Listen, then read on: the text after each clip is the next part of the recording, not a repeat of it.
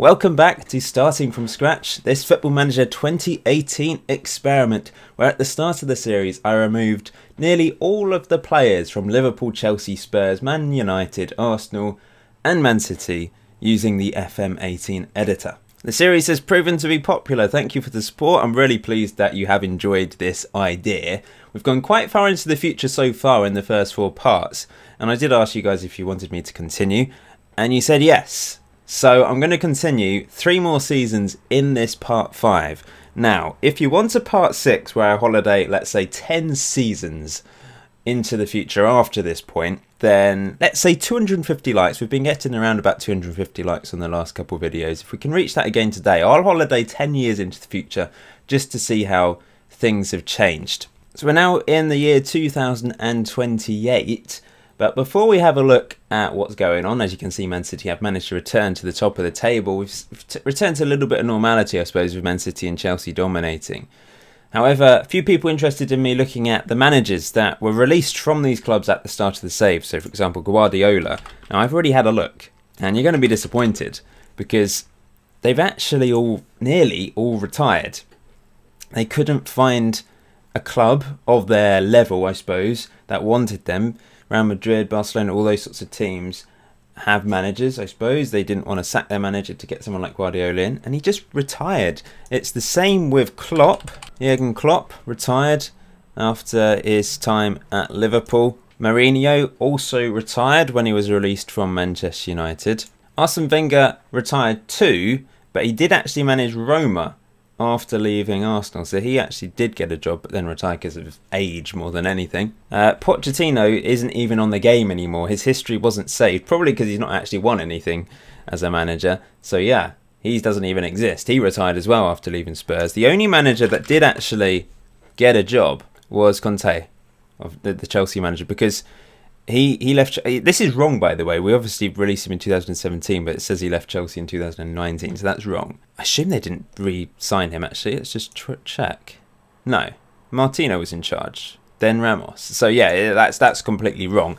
Uh, but he moved to Juventus for a couple of years, then moved to Monaco for three seasons, and now in the last two years he's been manager of Valencia. So he's been having an interesting career moving around Europe. Let's get back to business then. So Man City, champions of England again. Like I said, we've returned to a little bit of normality, although it's only Man City and Chelsea that are having success. Arsenal, Man United mid-table, of course, Tottenham and Liverpool competing in the championship. So let's see how they got on. Liverpool promoted in second place behind Sheffield United. Tottenham mid-table. Not good news for them. But Liverpool back in the top flight. This chap is just ripping it up. Traore, English regen, 34 goals in 55 games at the age of 26. He is scoring bucket loads of goals for Manchester City.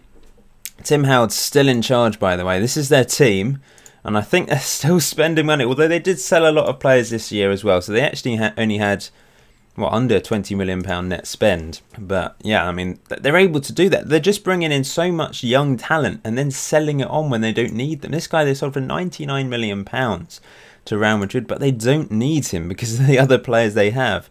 This was their top signing this season, Brazilian central midfielder. They are a formidable force now. Chelsea have Gary Neville in charge. Was he in charge last last video? No, I don't know. He wasn't. It was Alex Neil.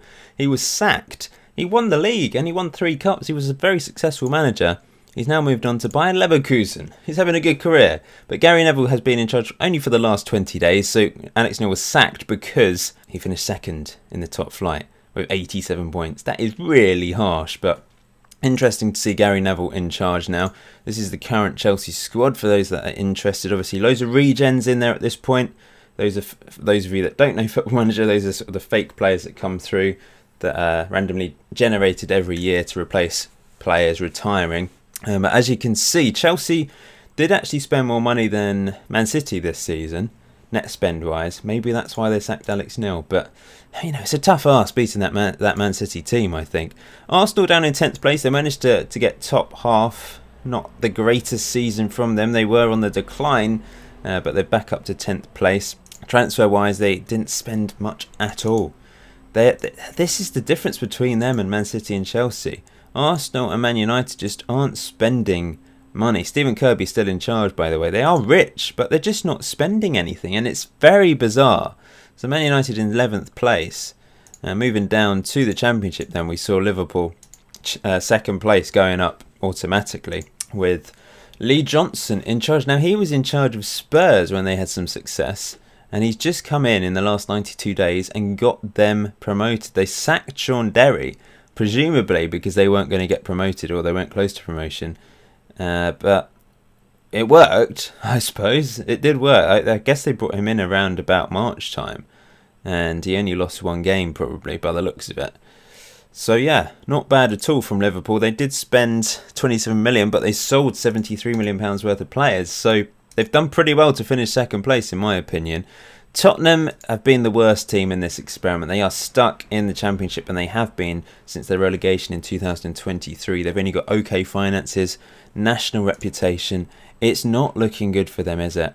It really isn't looking good. Man City are really dominating now. I've holidayed another season into the future. By the way, holidayed into the future. Someone pointed out, uh, what does that mean? I assume you don't play Football Manager. There's a lot of people that have subscribed to me recently that don't play Football Manager. And what I mean by holiday into the future is essentially, I'll just go to my profile, go on holiday.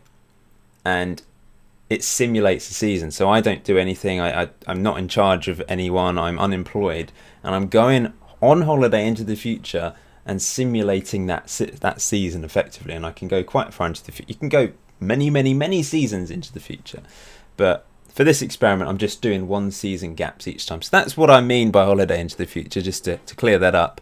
Man City easily won the league this year. 15 points clear of second place Newcastle, who did well to finish ahead of Chelsea.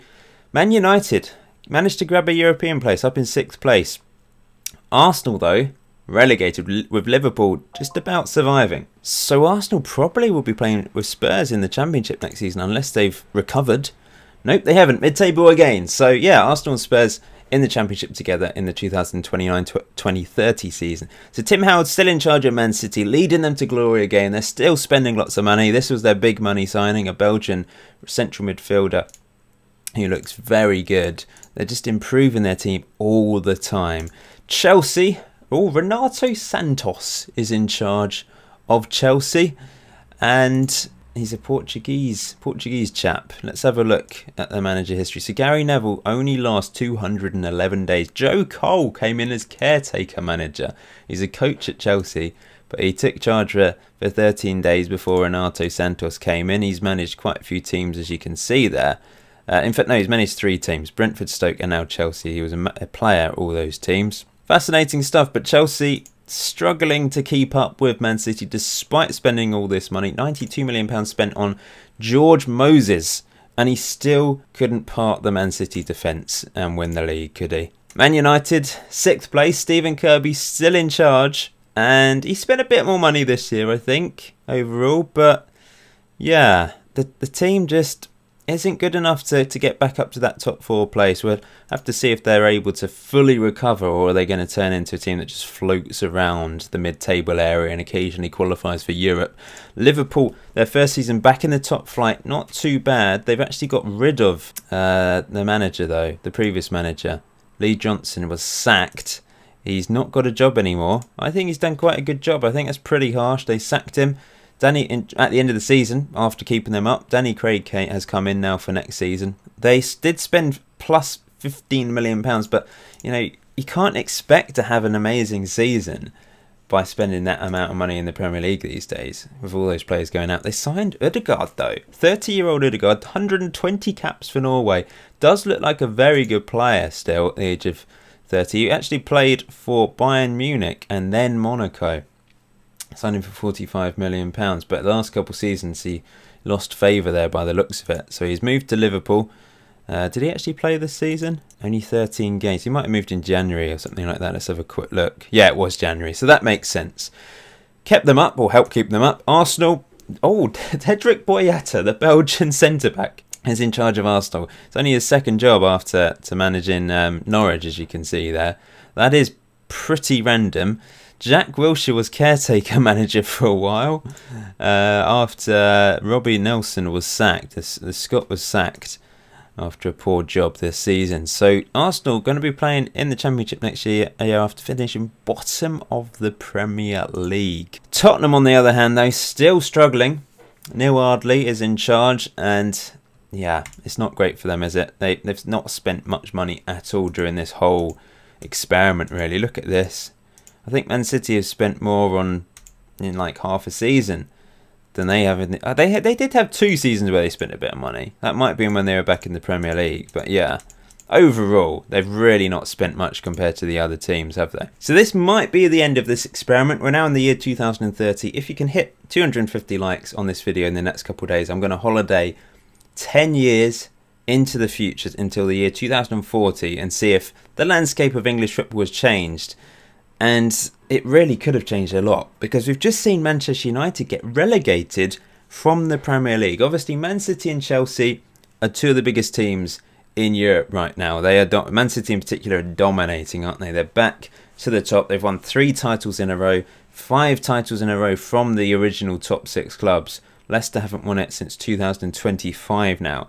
But Manchester United relegated from the Premier League in 2030 after finishing sixth last season as well. Liverpool seem to have done a lot better this time around as well, seventh place. It really is quite remarkable. Have Arsenal recovered? They have. They won the league, 97 points, easily going up along with Sheffield Wednesday and West Ham in the playoffs. Spurs, though, down in 15th. They're slowly dropping. Will Man United turn into a championship team with Spurs, or will they return to the top of the table? We've seen Liverpool and Arsenal get relegated in the last couple seasons, and they've both managed to get promoted back again. But it might be a different story for Manchester United, mightn't it? Anyway, we'll have a look once again at the clubs and then I'll go into a bit more detail looking at who's won the FA Cup and the individual awards and that sort of thing, club coefficients, etc. Manchester City only lost two games this season. Tim Howard is a revelation, isn't he? He's been in charge of five seasons and he's won three titles, I think. Four titles, possibly four. Ben Woodburn is still the captain of Man City. He's got 122 caps and 81 goals for Wales. Wow. I mean, he's easily the best player in Wales, isn't he? Wonder Kid turned into a world class player and he's still a top performer for Man City ahead of all these other brilliant regens. Four and a half star reputation now. They've really have returned to where they were where we uh, started this experiment. Really, they spent 99 million pounds, under 100 million pounds this year. That is a miracle in itself. But this is the Man City team. It is it's pr probably very good. In fact, let's have a look using the in-game editor to see which one am I looking for. This is what I want to see. We can see how good they are, how many world-class players they have. Look at all these quality players, and then easily top of the table quality um, players as well here. World class, I always say, is anything over 175. These are kind of borderline world class players. These are top quality Premier League players, that's for sure. They've got an incredible team. I mean, Kieran Tierney is their second worst player according to this, and he, you know how good he becomes on Football Manager 2018. He's obviously 33 now, so he has dropped off a bit, but still, that is very impressive from Man City. Chelsea actually finished below Leicester City this time around. Oh, Conte's back in charge. That is perfection. That is perfect symmetry, because obviously we got rid of Conte from Chelsea at the start of this experiment, and he is back in charge of Chelsea. That is brilliant. Uh, he's only been in charge literally for the last 15 days. They got rid of Renato Sanchez, Santos as he didn't manage to win the league. They are harsh, but Conte, that is just fabulous. I love that because he's obviously the only one that's still managing out of the six managers. And to return to Chelsea, I mean, that's another incentive to Holiday 10 years into the future to see how he gets on with Chelsea. This is the Chelsea team. They have some good players. They've got a couple world class players similar to, to Man City, they've obviously put some youth players into the first team as well down there. But yeah, they uh, spent way more than Man City this year, £223 million. This guy is one of the, the highest transfers ever. £168 million for this Argentinian central midfielder with 26 caps. Wow. What's his potential? Clicked on the wrong one. Attribute details. 184 potential and he's already 177. Oh, I know he's 23. He might reach that 184. What a player! Wow. Okay, let's uh, let's go back and have a look at Liverpool, the next placed best placed team in the top flight. So they're actually without a manager. They finished seventh, but they've Lee Johnson came. Did he come back? I'm confused. Lee Johnson managed them until 2029. Oh no, he was sacked last. Yeah, we saw that before, didn't we? Danny Craig came in. I'm getting confused myself now. Danny Craig. Oh, he's left, so he's gone to Wolves. So Wolves enticed him away. They finished one place below Liverpool, but they convinced him to leave Liverpool and join Wolves. Does that mean Wolves are a bigger team now? Three and a half star reputation in Liverpool. Wolves a three and a half star reputation as well. They are they're both rich. Um, well, they're very similar teams actually. Looking at that, but for whatever reason, their manager has gone. Not didn't spend a huge amount of money yet again. Maybe they're relying on their their youth system. Looking at their team, you can see the difference in quality to Chelsea and Man City. They've got, I mean, Man City. The number of players they have over 156 current ability is crazy. So yeah, you can see why Man City are running away with it. Man United relegated. What a story. I mean, this chap was relegated with Arsenal, wasn't he, last year? Pretty much. He's come to Man United and got them relegated in the last. Well, it, it was, I mean, Stephen Kirby's fault as well, I suppose. But yeah, they didn't spend very much money. Their team is is okay. They've got some good players, but don't have the quality to challenge for the top sort of European places, I suppose. But I would say that team's still good enough to to stay up, I would say, looking at the current ability there. Wow, Manchester United relegated in 2030. So let's have a look at Arsenal then, champions of the championship with Boyata in charge. They spent 37 million pounds, sold 73 million pounds worth of players, but it was enough to get them up. Looking at this team, I mean, it's, it's not that different to the Man United team, I suppose, in regards to quality. So yeah, you can see why they easily won the championship. Tottenham, on the other hand, Poor old Tottenham. Danny Butterfield is in charge now. They've had so many managers on this. It's ridiculous. But poor old Spurs, they're just they've got no money to spend. Oh, they're rich apparently, but they're just not spending the money. I don't know whether it's the AI, the computer, sort of being stupid or not. I don't know. It's just bizarre. Their team is just not good enough to get out that championship. They're just about good enough to be mid-table, I suppose, looking at them. FA Cup-wise then, these are the recent winners of the FA Cup. Man City have just about scraped past Cardiff City to win the most recent FA Cup on penalties. Not the greatest performance from them, but they have won two of the last three, with Newcastle winning the other. League Cup wise, they've also won that with Leicester and Newcastle winning that competition as well. They've both done very well on this experiment. A few people interested in looking at Leicester because they have turned into a very powerful team. Obviously, four star reputation team, as you can see here. Manager wise, they've had the contrast is is dramatic compared to the other six teams that we've investigated during this experiment because they, have had far fewer managers, as you can see there. Uh, captain is Andreas Christensen at the age of 34 now. They they they didn't spend much money this year. They, they haven't actually spent huge amounts recently, like net spends they haven't really had to. They've been they've put together a good enough team. They must just have a really good system in place to produce players and get the best out of players. Great, get really good cheap signings as well because they've obviously look at this team. It's very good. You can see why they're qualifying for the the Champions League on a regular basis. Newcastle's well. Have a look at them. Eddie Howe's now in charge. How long's he been in charge for? Yeah, well, almost two years. Uh, Benitez actually left in 2019, but they've had Sean Dyche, they've had Eddie Howe. This is his second spell in charge, in fact. Gary Neville's been there, Paul Lambert has been here. So they've had an interesting mix of players, but they seem to be good enough to qualify for the Champions League every now and then. Traore, by the way, still banging in the goals for England and Manchester City. Let's have a look at England then. Andy Scott, still in charge of England. He's been here for, for almost four years now. And the top players, Marcus Rashford, who now plays for Barcelona, who left for £68 million from Bayern Munich. Dele Alli plays for Bayern Munich. He's been there quite a while. PSG picked him up.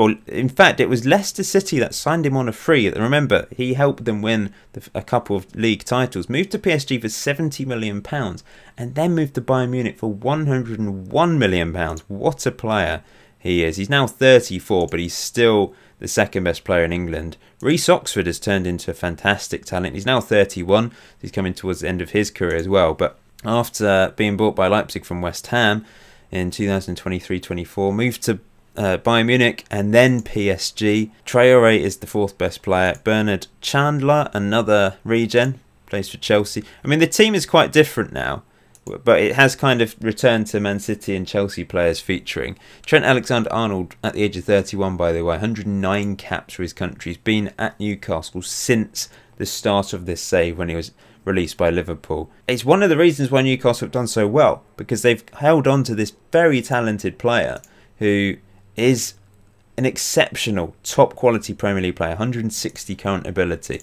What a player. Uh, we'll just have a look at the team actually, the overall team. You can see there is a mix of players in here. Look, looking at from best to worst current ability wise, uh, Jordan Pickford has dropped off now. He's 36 years old, so he's not quite as good as he was. Playing for Leipzig, left Everton for 28 million pounds. So even the players that we didn't remove from these clubs, some of them have gone abroad and to interesting clubs as well. Who'd have thought Pickford would end up at Leipzig? Reece Oxford's at PSG of all teams. Um, yeah, it's it has kind of returned to the English base though to the team.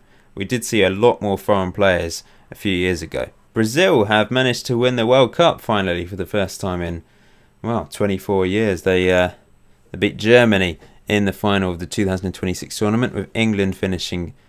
In fact, I've already shown this, haven't I? Yeah, I've shown this because this is 2026. We're about to have another World Cup very shortly. Uh, Portugal won the most recent Euros. They beat England in the finals. England have been a bit unlucky not to win a tournament, I suppose, on this. If we look at the competition reputation, the English Premier League has actually dropped off again. They did get up to third, but strangely, it's uh, dropped down to fifth once again. There is a way to look at nation. This is what I was meant to look at last time, but this is the nation coefficient. So, despite England being fifth in, well, the Premier League being fifth in the reputation table, they're actually top of the nation coefficients. This is for this is for Champions League football, isn't it? Was this nation? Ah, I think that's something. What's the difference between nation coefficients and nation club coefficients? I'm sure someone knows out there. I think this is the one for the European football European club football because it's called nation club coefficients. Qualification, yeah, that must be because they're fourth in the qualification places. So they do get four teams entering at the group stage, as you can see there. Italy down in fifth only have two. Um, that's quite a big drop from fourth to fifth, isn't it? Suddenly, there's loads of different things you can look at. You know, finances. We can have a look at the turnover, which is dominated by AC Milan at the moment. Chelsea actually have a bigger turnover than Man City, interestingly. There's some sort of club coefficients. So you can sort of see how dominant they are in European football. Newcastle, they're up in 11th. So there's three good English teams there and Leicester down there. Champions League then. We haven't seen an English winner on this. So Man City, although they've been very good in the Premier League, they've failed to reach a final even of the Champions League. It's actually been dominated by Bayern Munich and PSG for many, many years. We've also seen Dortmund reach a final as well. But since 2023 24, Dortmund are the only other team to reach a final of the Champions League. That is crazy. And the Euro Cup has been won by the English team. So Man City and Chelsea have been good enough to, to win that competition. They've just not been good enough in the Champions League. Southampton have also reached a final, as have Newcastle. Let's have a look at the individual awards then. So recently we've seen ter Stegen still pick up goalkeeper of the year at the age of 35 three years ago. This chap managed to win it at a young age, remember. Hamid Arab, who is an exceptional goalkeeper. He's, he's already got 98 caps for Holland at the age of 29. He's a goalkeeper, so he could play for quite a few more years. And recently, this this regen, Yilmaz, Looks like a good goal. He's Dutch as well. They've got two of the best goalkeepers in the world. In fact, that's really strange. They've basically got the two best goalkeepers in the world. Let's have a look at the national team. So Arab has got 186 current ability. Yilmaz 180. He's really unlucky to have to be in the same generation as they're both the same age as well. I think. Where are we? Arab's uh, 29 and Yilmaz is one year younger, 28. So he's a little bit unfortunate there, isn't he? Footballer of the Year, then we've got three different awards. This is Footballer of the Year. Ousmane Dembele won it at the age of 30, still at Barcelona. Leon Bailey playing for PSG, and Tielemans as well, featuring there. Thiago Selasco managed to win it in 2000 in uh, 2028. He's a an Argentinian regen. And lastly, this year, Yao, the Man City player. So Man City have managed to produce a player that has won Footballer of the Year. Golden Ball, um, Polish regen, three Polish, uh, th three regens, sorry, featuring there. Then uh, Ernesto Garat, a regen from Uruguay, and recently Moise Kean, a real life player, has managed to win the Golden Ball, the Ballon d'Or. Well Player of the Year, similar story here. That's three different awards. It's a bit confusing. Mbappe at the age of 31, by the way, featuring on that list as well. And the last thing, World Team of the Year. We'll just go back three years. So these are the players that have featured. You can pause it if you're interested. This is the overall Team of the Year of the whole experiment. Experiment, I suppose. We've not got any English players or English teams featuring there because of what we did to those English teams, I suppose. But we do have Harry Kane up front, who is he still at Dortmund? He's 36 years old. He's still playing for Dortmund. It's I just find it quite random that he stayed there so long. Did he ever win the league? No, Bayern Munich won it pretty much every year. Leipzig won it twice, but Dortmund have finished second quite a few times. He's never won the league. Poor Harry. So I think we'll end it there, guys. Thank you for watching this part 5. It might be the last part of this experiment. If so, thank you for your support on this series. But we might do a part 6 where I simulate 10 years into the future to the year 2040. Either way, until next time, enjoy FM18, enjoy the rest of your day. I'll see you very soon.